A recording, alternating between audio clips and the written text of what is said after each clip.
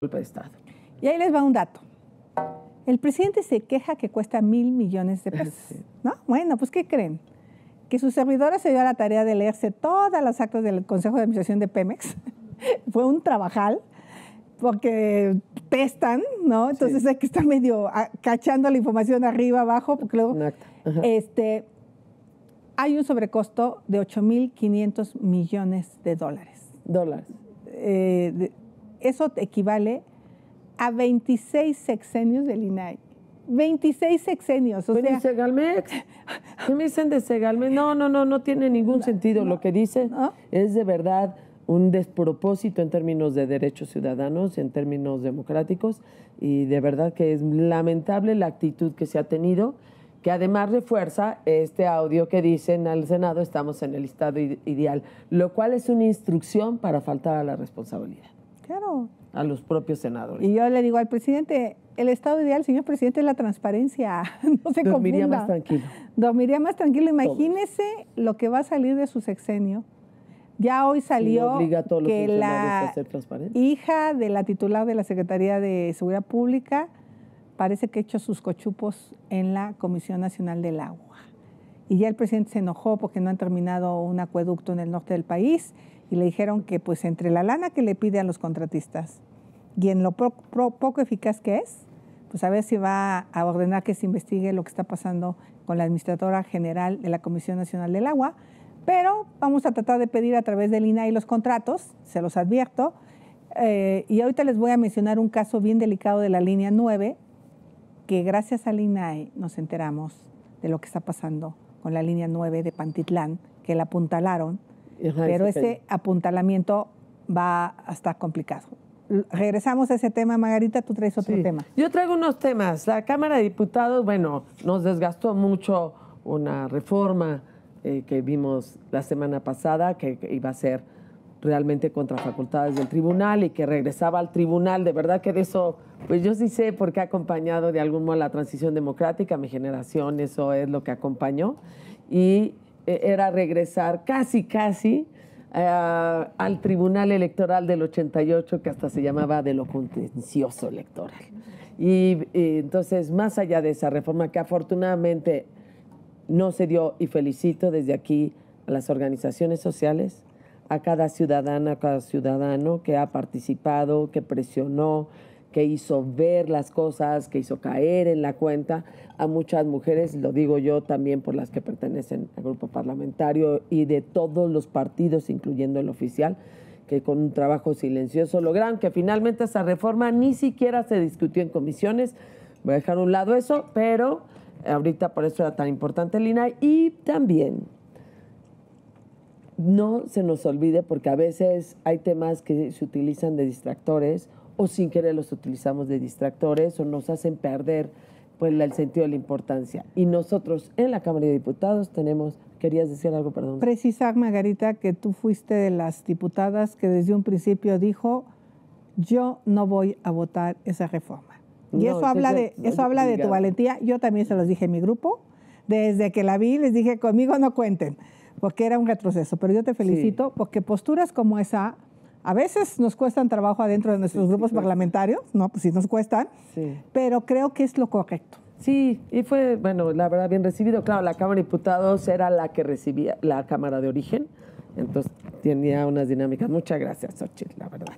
Muchas gracias. Ahora, es importante, nosotros recibimos hace unos meses, ya meses pasados, una ley que se quiere ya dictaminar de ciencia y tecnología. Hace una semana la ley minera, hace una semana, eh, tantito antes de que nos fuéramos a Semana Santa, ya saben, le encanta este gobierno, una, no en Semana Santa, durante la Semana Santa se aventó. El 23 de marzo. Sí, se aventó una iniciativa. Administrativa. De un paquete de la administración pública, nada más y nada menos de 23 leyes de la administración pública. Es, yo sí creo que el más grande despropósito ¿eh?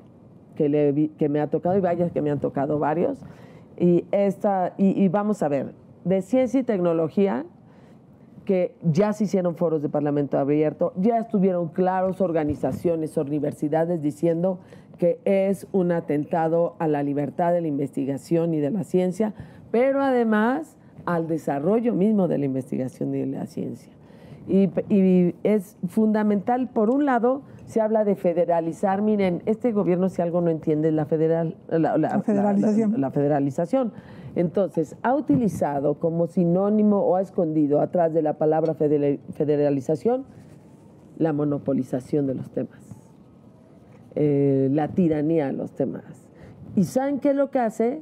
Quita todos los colegios estatales que tienen su propia dinámica, sus propios investigadores, y lo convierte en un solo consejo en la que participan el gobierno federal, por eso va a decir federalización, es decir, nada más los intereses de un gobierno en turno van a participar. Quita a las universidades privadas, pero del consejo también a las públicas, quitan a todos para la discusión de cualquier política pública. Ese consejo es el órgano superior y va a decidir qué se investiga. si tú, tú traes una idea maravillosa para presentársela a CONACID. Lástima, Margarito, porque eso ya no va a suceder. A ti te van a decir, vas a investigar la vacuna patria, que por cierto, no sé si ya va a estar. Este, claro. Pero pues antes hemos recibido cosas peorcitas seguramente. Y entonces va, eh, le quita la libertad de investigación a los estados también. Yo sí les aseguro que, por ejemplo, este, todo esto que ha logrado que Querétaro sea hasta diseñador de motores, de aviones, Guanajuato, todo esto pues es gracias también, gracias también a esa libertad en los temas de investigación y de tecnología. Y es verdaderamente un retroceso, un fracaso. Y los científicos que creo que tanto lo apoyaron, es una pena lo que está sucediendo. Por favor, pongamos mucha atención en que esta ley, que sí tiene la mayoría correspondiente, pues este, no vaya a pasarse. ¿Algo más de ciencia y tecnología? No, pues el tema es también que no hay apoyos para los investigadores privados, de universidades privadas. ¿Qué más quita del ESNI a todos los privados? A todos los privados. Y digo, obviamente, pues ojalá el sector público tuviera capacidad para integrar a los privados. En otros países el sector público trabaja de la mano con los privados. En Alemania, por ejemplo, los grandes desarrollos... tienen mayor desarrollo tecnológico. No hay este pleito entre si estás en un privado o eres público. Finalmente, una patente que desarrolle una empresa privada, pues beneficia al país, beneficia a los mexicanos, la puedes exportar, puedes, o sea, imagínate que tú seas el gran desarrollador del motor de hidrógeno verde en el mundo. Uy, lo que México podría hacer en ese tema. Pero obviamente, seguramente se tiene que hacer de la mano de una industria automotriz tan poderosa como la mexicana. Y este, este desprecio al sector privado es tremendo y al final de cuentas pues son los que generan los empleos. Y bueno, por eso estas iniciativas eh, le pegan directamente a la economía, ¿eh? le pegan directamente a la economía. El otro es el de la ley minera. Nadie tiene que ser este, experto en minería, bueno, y por lo menos el gobierno seguro no lo es, para darse cuenta que es una ley que, que no atiende ni siquiera, que no atiende la posibilidad de, de desarrollar toda esta industria reduce las concesiones. Es que todo lo ve en términos de votos y de presión y, de, sometimiento y de poder. Porque pasa las concesiones de, de 50 a 15 años. Una industria minera no se puede desarrollar en 15 años. De verdad es verdaderamente desconocimiento, e ignorancia del tema. Y así muchas de, la, de, de, las cosas y de lo establecido en esta ley que van a ir estableciéndose, eh, van a ir poniendo, he puesto en algunas de las redes con Camín, lo pide, la, obviamente la industria minera está pidiendo revisemos esto con seriedad. Y luego la otra... A ver, yo quiero hablar sobre la industria minera. Eh, aquí el tema de la minería, lo que el gobierno tendría que estar preocupado, primero es que le paguen los impuestos que le deben de pagar, yo, yo ahí coincido, ¿no? O sea, si ya te di una concesión, pues eh, págame los impuestos si tienes, yo revisaría aquellas concesiones que a lo mejor fueron dadas y que tienen 50 años y no se explotan. Bueno, vamos a revisar. Pero, bueno, pero eso está en la ley de expropiación. si no se, pues se regresa. exacto. esa, en los propios contratos. En, los propios contratos, esa parte. Yo ahí revisaría lo que. Pero decirle a una persona, te doy una concesión de 15 años para que dentro de 15 años, quién sabe qué se te ocurra, y yo hice una inversión megamillonaria, porque esas inversiones no son sencillas pues lo único que va a hacer es espantar a la industria minera, eh, que es tan importante para el desarrollo de muchas cosas. Si queremos ser potencia en litio, pues tenemos que dar concesiones en materia de litio, o, o, sea...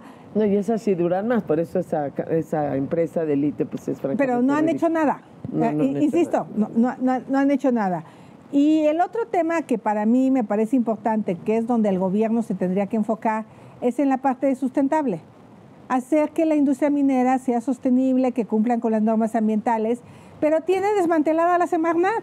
Entonces, mm, y peor, ya en el paquete este administrativo empieza a dar posibilidades de quitar mucho del impacto ambiental. Claro. Entonces, e, esa sí es la peor, ley en materia minera, eh, sin duda alguna. Yo sabes cómo lo veo, esta y la que viene, como una manga a los empresarios que ni se les ocurra eh, oponerse a su gobierno. ¿no? es, como, es como, a ver, tengo el sartén por el mango y si te atreves a moverte, te voy a quitar tu concesión minera.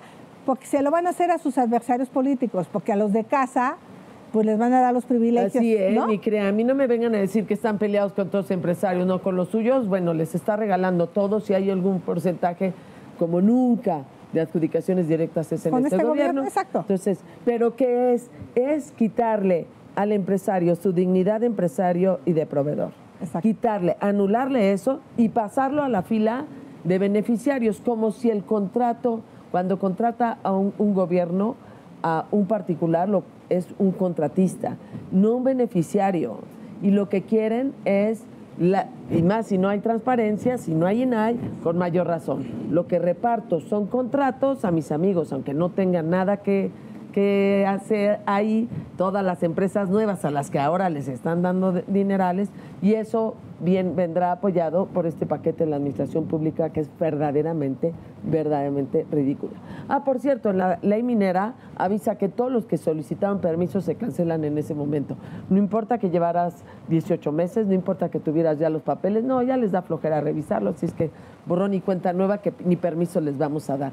Es decir, sí hay derechos adquiridos en los temas de quien solicitó una autorización y no será respetada. Es increíblemente ridículo. Van a ser inconstitucionales estas leyes. Van a ser inconstitucionales porque tú no puedes hacer retroactivo. Eh, si alguien ya le diste una concesión de 50 años, pues tú no le puedes aplicar ahora 15 años, porque esa persona ya hizo eh, las inversiones.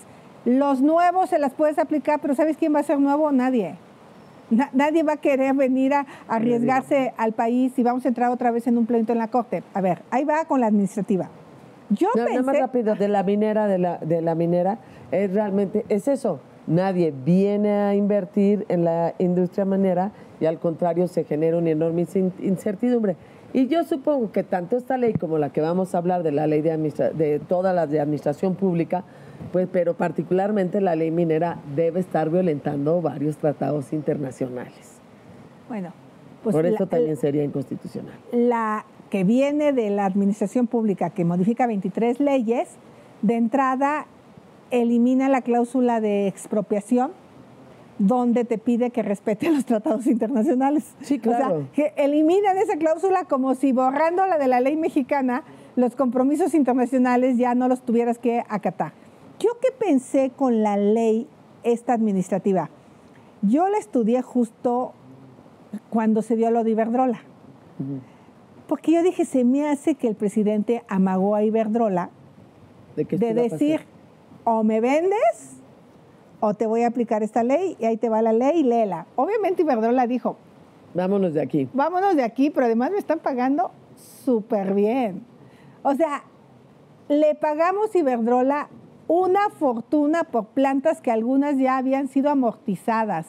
Y saben qué, varias de esas plantas iban a ser propiedad del gobierno, porque al final del pie esas plantas pasaban a ser propiedad del gobierno. Entonces les pagaste algo que iba a ser tuyo con el tiempo. Ahora, en realidad esa es una mentira hacia los ciudadanos. Es una mentira de decir que nacionalizó la industria eh, eléctrica, eh, porque la verdad es que hay un fondo, que ahí está el secreto.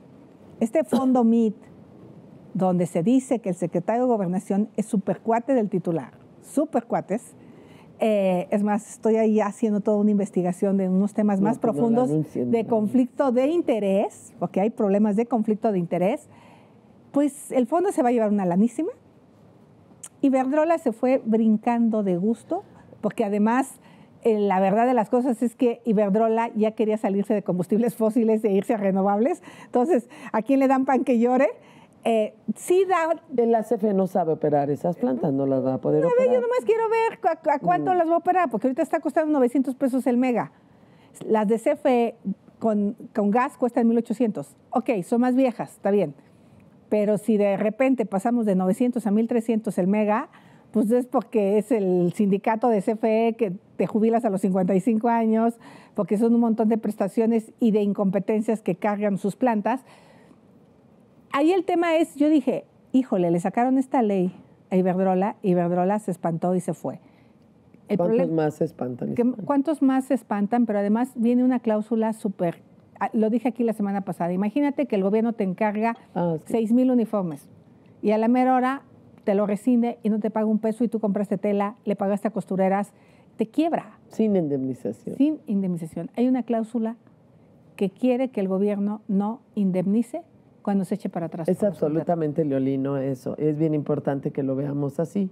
O sea, finalmente es un contrato.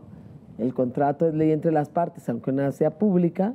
Incluso muchos de los contratos que hace el gobierno con, con un contratista privado se ve bajo leyes privadas cuando no actúa como soberano, que es en muchos de los casos. Entonces, en realidad, este, eh, lo que va a hacer es fortalecer las adjudicaciones directas y, por supuesto, el estado ideal es un INAI sin funcionar, porque va a fortalecer las adjudicaciones directas, centraliza todo a la función pública, lo cual va a ser de una enorme lentitud cada uno de los contratos porque se centraliza totalmente, elimina cualquier responsabilidad y todavía se avienta un principio de confianza administrativa. Pues ¿cuál confianza administrativa si todo está operado a favor del gobierno? Yo sí creo que es uno de los paquetes más autoritarios que nos ha tocado ver y recibir y vamos a ir trabajándolo pues uno por uno. Por todo lo que significa, por el estado de indefensión en, de indefensión en lo que deja a los contratistas, por la eh, eh, fortalecimiento de las adjudicaciones directas y por lo tanto de los favores y desde luego algo que me preocupa mucho, ya de por sí miedosos nuestros empresarios, pues con esa ley pues los tendrá totalmente sometidos y en algo de razón. Así empiezan las grandes dramas de las caídas económicas por decisiones de políticas públicas o decisiones de gobierno. Entonces, eso está en la Cámara de Diputados, somos Cámara de Origen, es decir, la ley minera que además la han de estar ahorita eh, discutiendo en las comisiones y deberá, y la idea es que este jueves o el martes o el jueves siguiente se aprueben porque estamos por irnos de este, por terminar este periodo. La, la de CONACIT que se viene trabajando y por supuesto también afortunadamente ahí está un gran personaje que es Juan Carlos Romero Hicks, que está también Ignacio Loyola, el gobernador, que han estado trabajando y conteniendo muchos de esos temas. Y por supuesto esta ley que a mí me parece la más peligrosa porque le manda todo, monopoliza todo, eh, alenta todo y si además no hay INAI, pues estamos en el mejor de los mundos para que haya una enorme corrupción en la que todavía faltaría ver. Miren, yo sé que luego se conectan a este canal muchos pro AMLO, eh, que lo siguen ciegamente. Yo los invito a que las lean, a que no los engañen, que si no nos creen porque creen que nosotras solo criticamos al gobierno, pues que lean lo que está escrito y yo sería incapaz de votar en contra de algo que es positivo para el país. Se los digo sinceramente. Voté a favor de la Guardia Nacional para darle un voto de confianza al presidente de que si esa era su estrategia de seguridad, pues va, órale. Pero al mes nos engañó y puso un general al frente de la Guardia Nacional cuando la propia ley decía que tiene que ser una Guardia Civil. Y ahora que la Corte le va a dar para atrás con ese tema de la Guardia Nacional, que ahorita lo vamos a tocar, pues es que él le da la vuelta a la ley. No es que nosotros o la corte está en contra del presidente. Es que el presidente se brinca las trancas. No podemos militarizar el país, perdón. Los militares tienen un papel que jugar importantísimo, los adoro, soy hermana de un general, pero de eso a, entregar, eh, de, eso a, entregarles eh, la totalidad eh, del gobierno, pues yo creo que no, no, se vale. Entonces, sí creo que este es un tema que tenemos que estudiar con mucho cuidado y, y no no nada más irnos con que todo lo que el presidente manda es bueno, porque lo que está detrás es que él quiere poner a su corcholata a como dé lugar y va a hacer usar estas leyes para amagar a empresarios, para amagar contratistas, contratistas uno para que le den cochupos, otro para que este, mm, apoyen a sus corcholatas, para que no apoyen a ningún candidato de la oposición. O sea, es una manera de regresar a, ese México de la ley de Herodes, con todo respeto. Esa ley de Herodes que vimos, donde no me gusta esto de la Constitución, rómpelo y yo impongo mi ley, eso es lo que está pasando con estas leyes, Margarita. Sí, sin duda, sin duda. Y eso es, por eso estamos muy preocupados. Ahora, por también estamos en oposición, estamos obligados a señalar y a estudiar pues lo que no es bueno para México y por eso es tan importante que estemos. Yo sí les invito a leer desde la exposición de motivos, pero además las consecuencias. Eh, con Camín, por ejemplo, cuando ya hay varias organizaciones que dicen, por favor, hagamos foros respecto de este tema de contratistas y respecto de estas, de estas leyes y esta monopolización que se está dando y además aglutinamiento de las decisiones que va a retrasar todavía más eh, los la infraestructura para México. Y me preocupa enormemente el tema de, de, la, del miedo, de la presión, de la obediencia que se va a generar porque está de por medio tu seguridad o tu empresa, tu seguridad económica o el ingreso de tu familia. Ahora, el día de hoy ya nos veníamos para acá y estaba una sesión en la corte de un del ministro González Alcántara.